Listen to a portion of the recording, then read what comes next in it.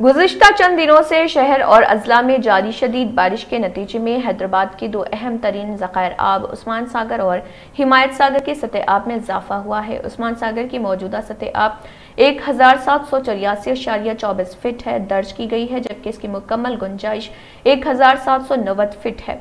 इसी तरह हिमायत सागर की सतह आब फ़िलहाल एक हज़ार सात सौ बासठ अशारिया बीस फिट दर्ज की गई, जबकि यहाँ मुकम्मल सतह आब एक हज़ार सात सौ तिरसठ अशारिया पचास है।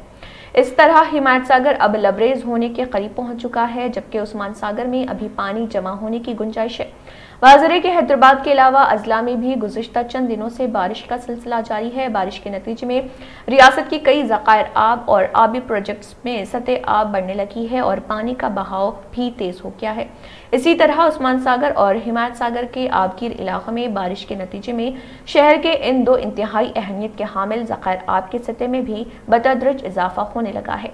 इब्तदाई चंद अयाम की बारिश के दौरान इन दोनों ज़ख़ैर आब की सतह में कोई ख़ास तब्दीली नहीं देखी गई थी। ताहम जिस तरह हुकाम की जानब से उम्मीद ज़ाहिर की जा रही थी कि मजीद बारिश की सूरत में इन दोनों ज़ख़ैर आब की सतह में इजाफा हो सकता है, इसी तरह अब जबकि गुजशत चंद दिनों से बारिश का सिलसिला जारी है और आबगिर इलाकों से उनमें पानी का बहाव भी बढ़ गया है।